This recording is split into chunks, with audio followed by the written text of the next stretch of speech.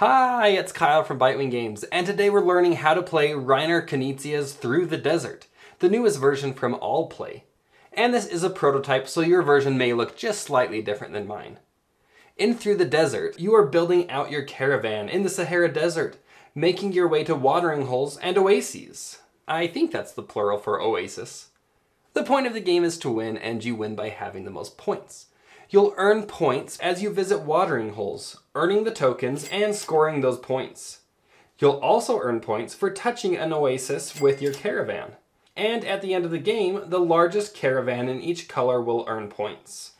The base game plays the same as older versions of Through the Desert, so if you already know how to play the game, feel free to skip to the end where I go over the new expansion material. Let's take a look at the setup. The board is double-sided. One side, the day side, doesn't have a river, and the night side does have a river.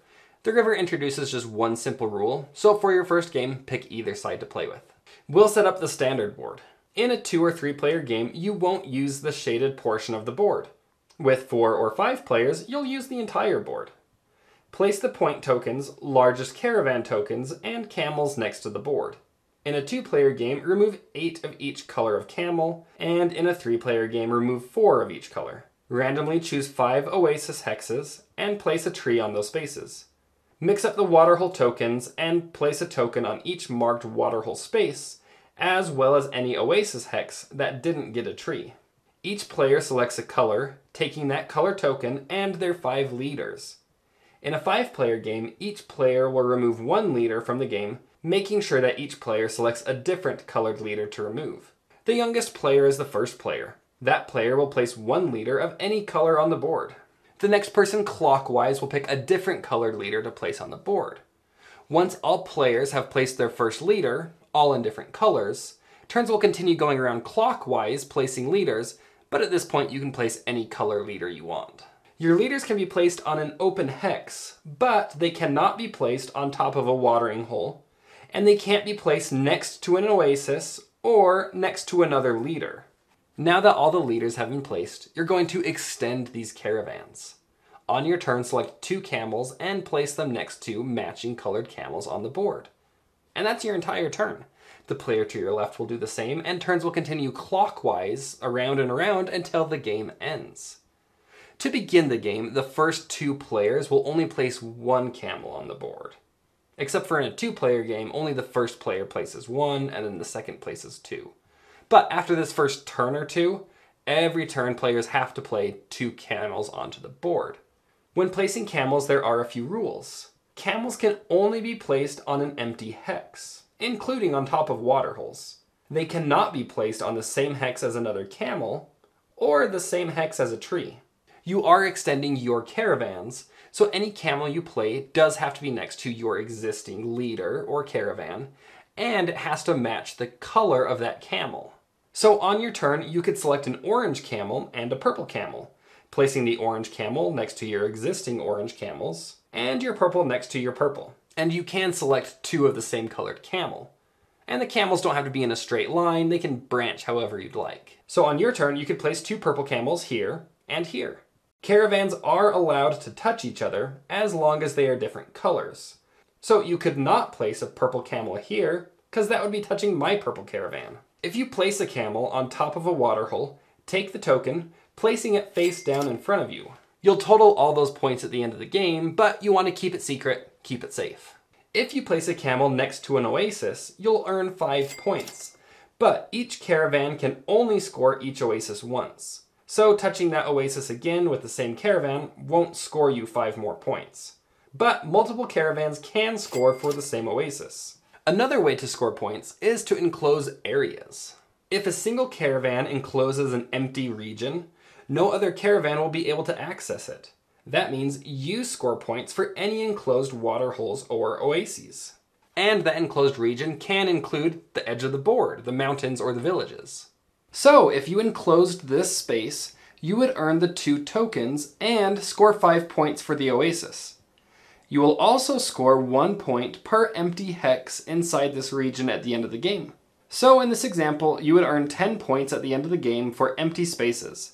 The oasis doesn't count as an empty space. A few clarifications. To enclose a region, it does have to be one caravan that encloses an entire region. You can't have two separate caravans closing off a region. And once a region is enclosed, no players, including you, are allowed to add more camels inside of that enclosed area. The game will continue until one color of camel is completely gone. At that point, the player will finish the turn, and the game ends. So, you place this purple camel, which will end the game. You place a second camel to finish your turn, and the game is over. Count up the largest caravan in each color, giving that player the largest caravan token. In case of a tie for largest caravan, each tied player takes a 5 point token. Total up your tokens and count 1 point for any open hex in enclosed regions, and the player with the most points wins. If you're playing on the river side of the board, you'll earn 5 points when a caravan crosses the river for the first time. Each caravan can score just one time for crossing the river. Let's jump into the new material. The Crocodile expansion comes with the Crocodile Meeple and an Asleep Awake token. After setup, but before placing leaders, randomly choose an oasis to place the crocodile next to. Give the player to the right of the start player the crocodile token. After that player's turn, they will move the crocodile to an open hex adjacent to a different oasis. Pass the crocodile token counterclockwise. At the end of that player's turn, when they have the token, they will again move the crocodile and pass the token counterclockwise, and that will continue throughout the game. No players may place a camel or leader on or adjacent to the crocodile. In a two player game, you'll use both sides of the token. You'll start the game with the asleep side facing up. After your turn, if you have the token, flip it to the awake side. When you end your turn and it shows the awake side, the crocodile is awake. So you'll move him like regular to another oasis, then flip the token and pass it to the other player. After their turn, they will flip the token from the asleep side to the awake side, and then at the end of their next turn, they will again move the crocodile, passing the token to you on the asleep side, and it will continue like that throughout the game. If there's ever no oasis spots left to place the crocodile, you'll just remove him from the board. Alright, the Rival Nomad expansion. This adds new objectives. Select any two of the Rival Nomad cards. These are new objectives all players are competing for. Like the camel majority tokens, these objectives are each worth 10 points. And if any players tie, each tied player collects a 5 point token. Next is the Salt Mine expansion. This includes a set of salt scoring chips. Create three stacks, 5, 10, and 15, placing them on the indicated spaces. Leaders cannot be placed on or adjacent to the salt mines, and camels cannot be placed on them. If your caravan connects a salt mine to a city, you'll collect the top token. Each caravan can score just once for each salt mine connected to each city. So a caravan could connect one salt mine to two cities, taking two tokens from that salt mine. A caravan could also connect a city to two separate salt mines, collecting a token from each salt mine. If you enclose a salt mine or a city, you've effectively connected to it, so this enclosed salt mine that connects to this city will award you the top token. Players will keep their collected tokens face down in front of them. And if a salt mine ever runs empty, you take all three of the tiles, that space just counts as an empty hex now and can be treated like usual.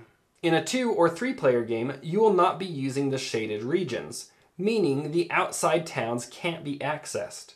The final expansion adds new waterhole tokens that will be mixed in with the other waterhole tokens remove 7 1 value, 7 2 value, and 7 3 value tokens, returning these 21 tokens back to the box. Shuffle in the new tokens and set up the game like usual.